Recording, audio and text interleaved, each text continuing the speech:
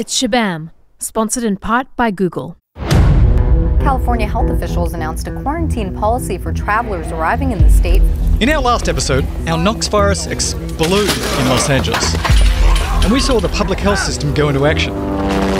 The CDC sent out medical detective teams, instituted a curfew, ordered a curfew. and held some press is conferences. not an airborne disease. They also closed public facilities. We have facilities, chosen to close our schools today. which means Elliott, Owen, and Nadine are headed home early. Can I hang out at your place until my dad gets off work? Sure, we can grab pizza or something. Awareness of the virus is also spreading even faster than the pathogen thanks to the news and social media and YouTube. spreading explosive. Not surprisingly, kind of freaking out about this whole Nox virus. everybody in our fictional world have you about is it? talking about it. Fear is turning to for some folks. In this episode, we'll look at how our modern communication systems work. And we'll see why the system that we rely on can both help fight the virus and spread it at the same time. Part 1 Mass Communication. All organisms communicate, from birds and dolphins to trees and bacteria. A basic characteristic of life is sending and receiving information. Some organisms use sound to send messages, like this nuthatch. That message translates to, Look out, a cat. or this bottlenose dolphin. Blah blah blah, give me some fish. Hey, hey, hey. Some use visuals. Plants, for example, use brightly colored flowers that tell bees Eat here. It's good food. the bright colors on those poison dart frogs sends the opposite message. Don't eat me. I'm toxic. Many organisms use chemicals to communicate. Bacteria, for example, coordinate using chemical signals. Release toxins. Even viruses are communicating when they send proteins into a cell to reprogram it. Make more of me. In every case, information sent by one organism is received by another. Humans with their big brains have managed to take communication to the next level. We've built stuff to help us communicate better, Dad? faster, Dad, can you hear me? and more efficiently. I'll be at Elliott's. You can pick me up when you. I said you can pick me up when. Hello? Dad? Just text him. He doesn't text. He's old school. These kids don't know it, but while this is going on, the CDC is working on isolating the virus. This virus seems to be a bit scarier than we initially. So while public health officials are trying to contain the spread, researchers are trying to figure out how the virus works so they can stop it. As we talked about last episode, any information that helps people protect themselves has to be communicated to the public. Is highly contagious. anyone and can be who may spread have through come in direct contact- Also, any research results that help doctors treat We're going patients to be demonstrating personal protective should be distributed as fast as possible. Our next piece of equipment. We are now communicating all these various lessons to hospitals, clinics, first responders around. So, as our epidemic ramps up, it's clear how spreading information is crucial in the fight against Nox. But there's another way public health agencies use information to fight diseases.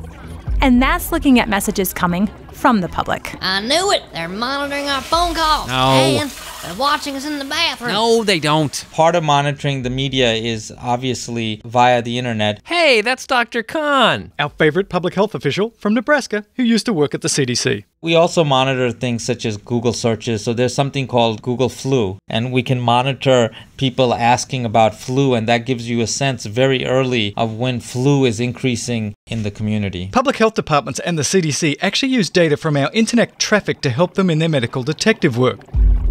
In the case of our Nox virus, the CDC would be looking at Google Trends from across the country, even across the world. When you have symptoms, you'll often go to Google and search about those symptoms. And this might give people an idea at the CDC whether this is spread outside the LA area. If a group of people, say in Portland, Oregon, start searching for Nox and headaches and bites at a really high frequency, maybe the virus is spread there.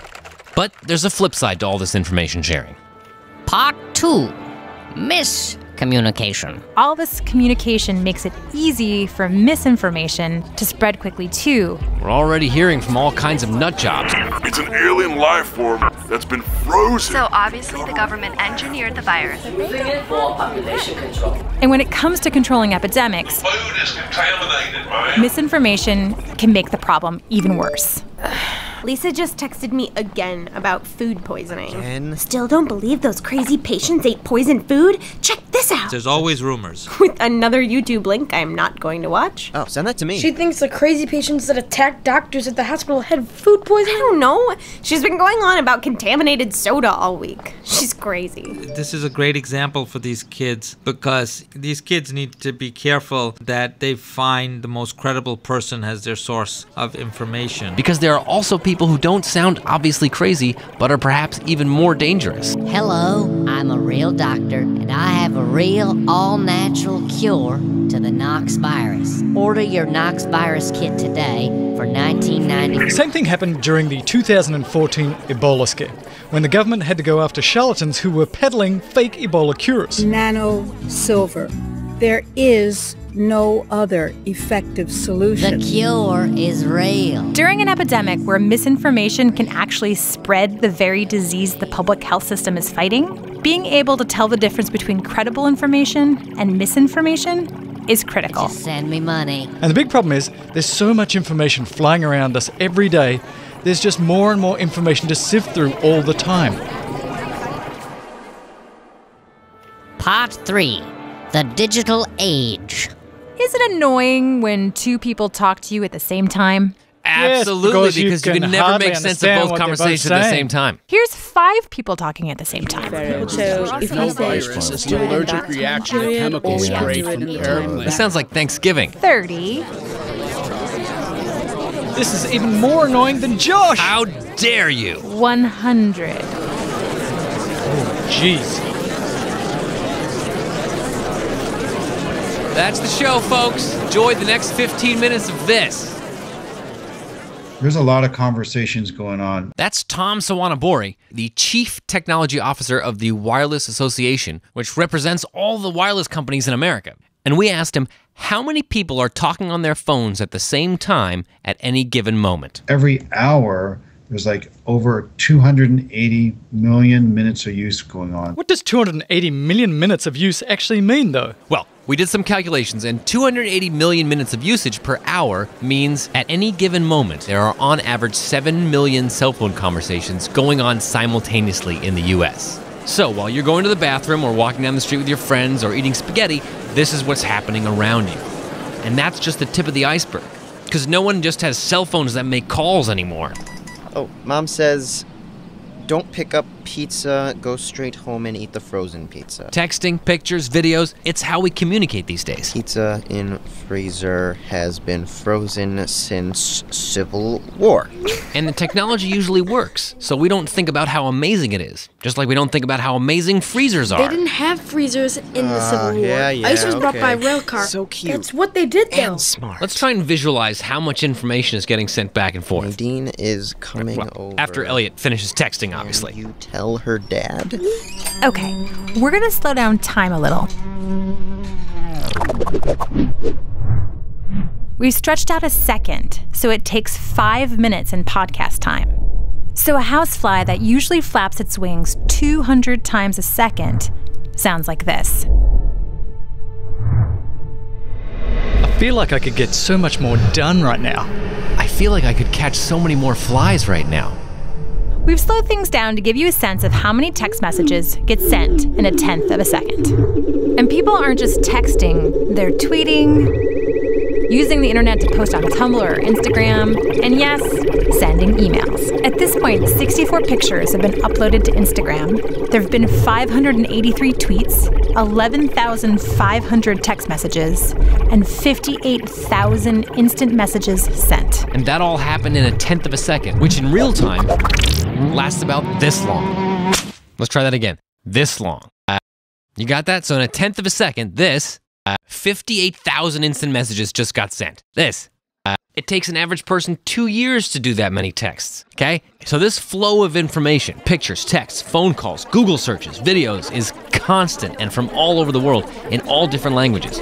And there's all these different machines we have to send this information back and forth, like smartphones and cable boxes and computers. And they're all connected to networks made of cables and other computers connected to other networks. It sounds like a big mess. But it's not. Are you home yet? Still waiting on pizza. It's not a mess because all of this information has been digitized, meaning it's been converted into a digital language, which we call binary, but scientists call ones and zeros. No, we call it binary. They call it ones and zeros No. because it's a language that's just made up of ones and zeros. Actually, zeros sound like nothing, but we couldn't just put that, so we put crickets instead. Anyway, once information has been converted into ones and zeros, it's said to be digitally encoded. Every selfie that gets sent, every text message, email, phone call, cable TV show, and Grumpy Cat meme is information that has been digitally encoded. And anywhere you go, if you're sending or receiving information that's been digitally encoded, Can you turn up the TV a little? you're sending and receiving millions and millions and millions of ones and zeros. That helped. Even if you're watching the news in Spanish in some random pizza joint in Los Angeles. Going digital is the reason why our communication system can handle so much information. So, one of the benefits that we get from the digital encoding and information is the fact that we can communicate much more information than we could before, and we can communicate many more different kinds of information. That's Urbashi Mitra, professor of electrical engineering at the University of Southern California. Taking the original source and converting it to digital allows me to do basically computations with this digital information in a way that I couldn't before. With these computations, it's possible to do things like break up information into smaller chunks, transmit those chunks, and then reassemble them again without errors. Go home now. And that's important because there'd be no point in communicating if the message sent didn't match the message received. I'm gonna tell mom that I don't understand all caps. The magic of converting information into binary or ones and zero is that you can do stuff to it so you can send it back and forth easier without destroying the information itself. Whoa! Hey, isn't that downtown? That's two blocks away from Dad's office. Okay, let's go, people. I'm calling Dad. The ambulance that crashed was transporting a severely infected man, but wasn't properly restrained and attacked the driver. Although it happened on live television, the full story took a few hours to hit the news. Mom, did you see the ambulance crash? Did you talk to Dad? We're leaving now. But we see iPhone footage of that same ambulance crash pop up on YouTube less than 20 minutes after the crash, and some people who witnessed the crash are already tweeting about it. So, given all the ways that we communicate, the amount of information that we send, and the speed at which we send it, this is only possible with digital information. Information that has been converted into ones and zeros. Now, we're going to take a little break, and when we come back, we'll look at how these ones and zeros actually get from one place to another. YouTube kings and Snapchat queens are my online heroes. Your hashtag tweets and funny internet memes make me feel so special. I've got 8,000 friends I've never seen. They're just ones and zeros. One zero, one zero, one zero, one zero. All my heroes are ones and zeros. My friends are not what they seem to be. They're ones and zeros.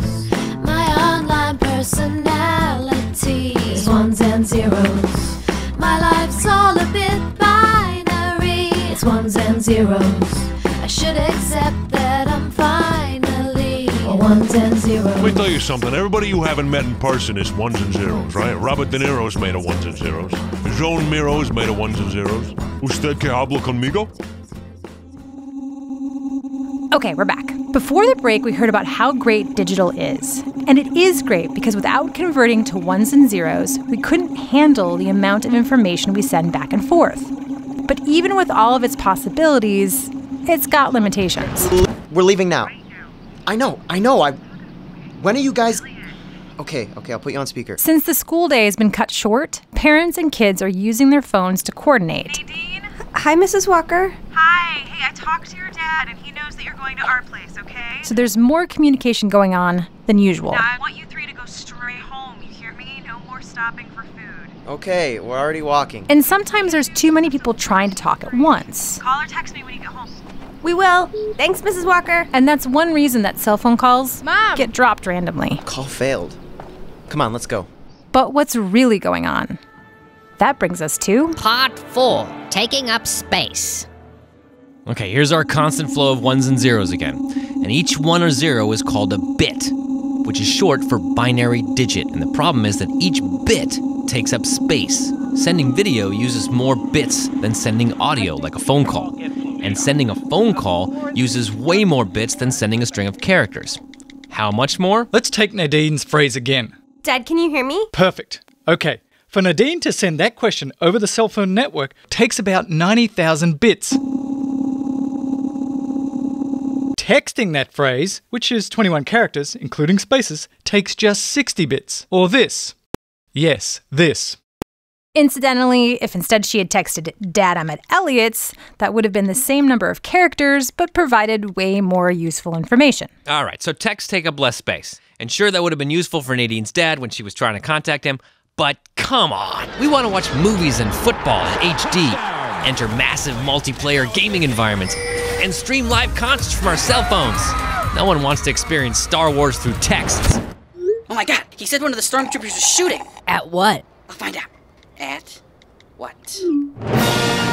And we keep making more and more stuff. Uh, we're generating a large number of cat videos that take up a lot of space to communicate. So while we're sending each other more cat videos, electrical engineers like Urbashi are working on all kinds of things, like making those cat videos take up less space by compressing the information. Which is totally awesome, right? Because with some electrical engineering magic, we can keep producing more information and sending it wirelessly through the air forever, right? Everyone believes that wireless communication is going to fix all of the problems, that we'll just make everything wireless. But at some point, we're going to run out of space because there's just too much information. There's a fundamental limit to what we can send. And this limit can get tested, like in a crisis situation.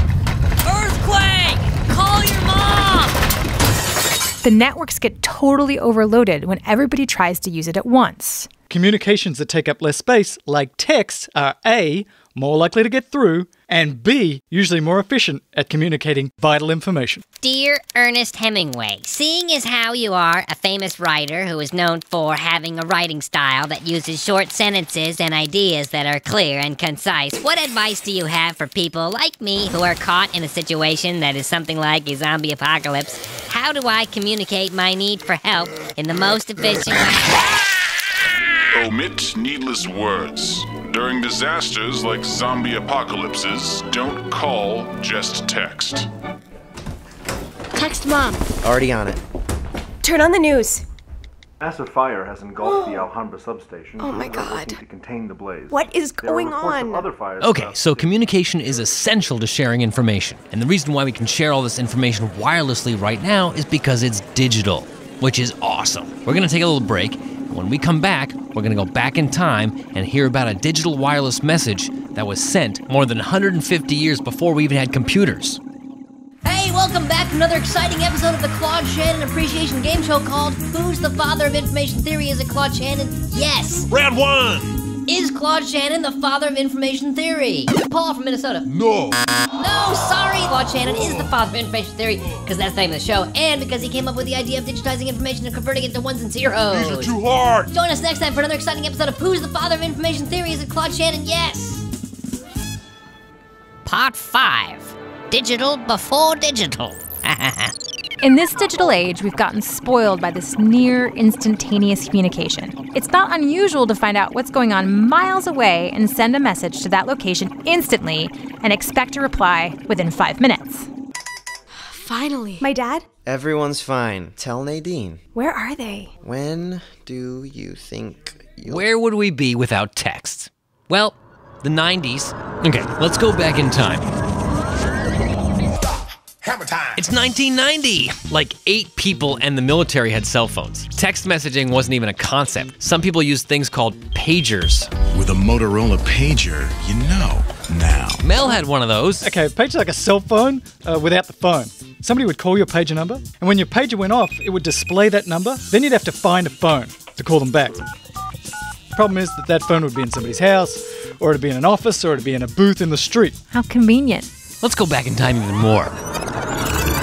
Before 1963, there was no touch tone. Phones had rotary dialers, basically a wheel with numbers on it. And every time you dialed, you had to drag the wheel to each number you wanted and let it spin back to its original position. Let's say your number was 954 998 3752. Here's what it sounds like to call that number today. Okay. Here's what it was like if you didn't have touch tone when you had to wait for the dialer to complete every number.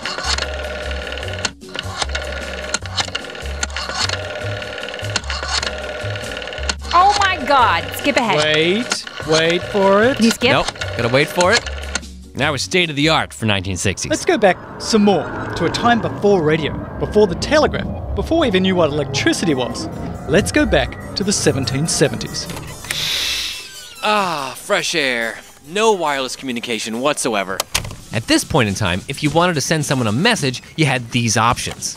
You could walk over to their house and tell them. You could send them a letter by ship. Or you could send them a letter with a guy on a horse. So walk, ship, or horse. Correct. And walking is slow, and ships need water, so if you wanted to send a message fast over land, your only option was the dude with the horse. In the 1770s in Massachusetts, there were many dudes with horses, and they often carried important messages. Listen, my children, and you shall hear of the midnight ride of Paul Revere. On the 18th of April in 75, hardly a man is now alive who remembers that famous day and year.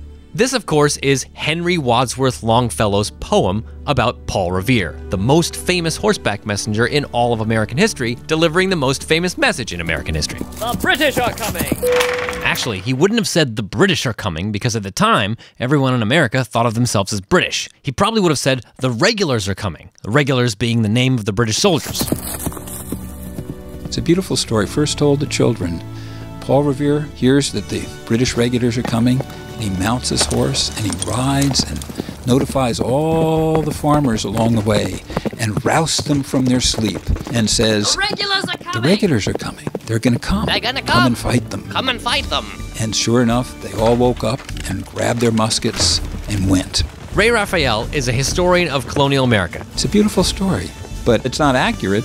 He is also a destroyer of comforting historical myths. Because he didn't warm every farmer's farm. He just went to a handful of houses and then rode on. You know, I mean, he wasn't, he wasn't going to stop at every farm. You know, Not only that, but he didn't even wake anybody up. we are led to believe that Paul Revere was the only rider and he woke up everybody. And it was exactly the reverse. Everybody, first of all, was already pretty much awake, and all they needed was a signal about when to start to march. If the fastest form of communication at the time was a dude on a horse and he hadn't gotten there yet, how did they already know? The first thing to understand is that about seven months earlier, this is September 1774, the people of Massachusetts basically threw all the local British officials out of office. The people of Massachusetts knew the British were going to retaliate. They also knew they had until spring of 1775 to stockpile weapons because no one fought wars in the winter in those days. What they didn't know was when exactly the British were going to start marching. So now it's spring. The British troops are in Boston getting ready to march any day. Now let's put ourselves back to revolutionary times. And it's the dead of night. And if you listen out the window, you don't hear cars, you don't hear that kind of buzzing that you hear mostly today in the 21st century. You know, this. You know what you hear? Nothing. Nothing. Maybe a cricket or something like that. That's about it. Pretty much everybody is asleep at night, and rousing everybody, that takes some time.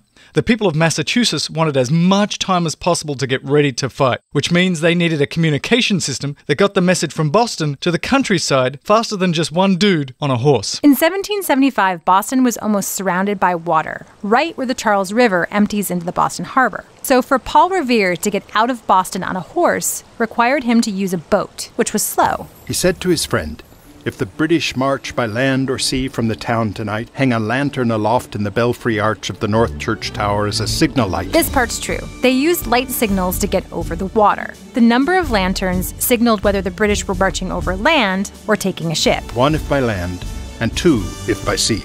And then what? The message still had to make it through miles and miles of hilly countryside obscured by trees and bushes. So, no direct line of sight.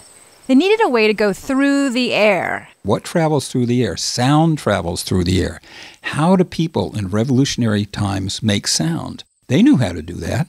You ring church bells. That's how they summon people to church.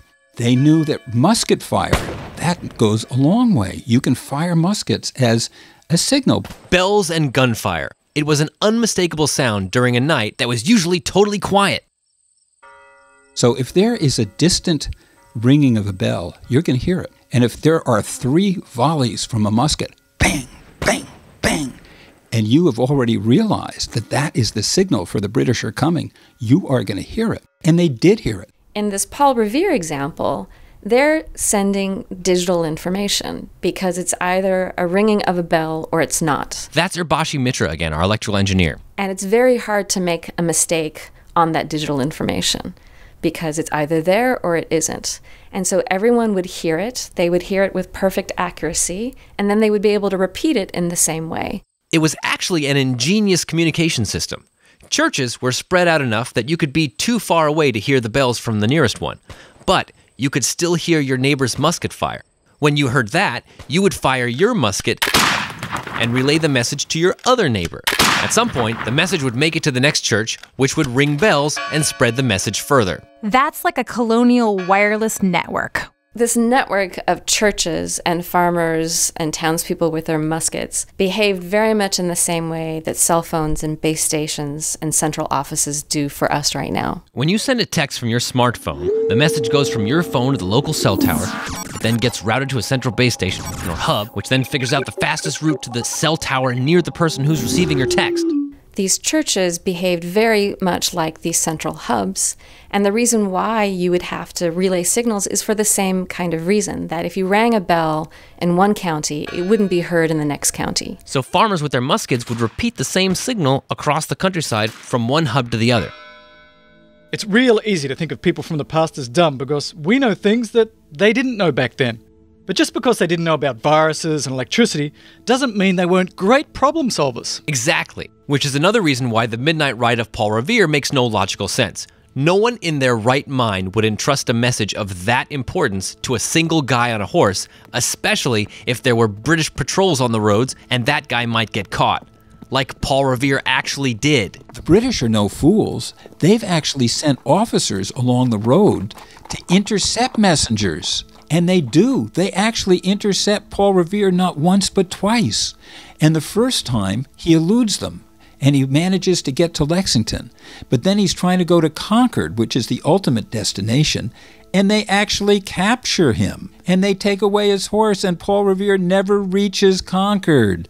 Another rider reaches Concord, but not Paul Revere. So, while the lone rider heroically sounding the alarm with a single important message makes a great poem, The people will waken and listen to hear the hurrying hoofbeats of that steed and the midnight message of it's not what happened. Paul Revere. Paul Revere was an important guy. But there are many unnamed people who worked together and came up with a fantastic way to essentially send a digital message more than 150 years before the invention of digital messages. Part 6 The Big Fat Flaw.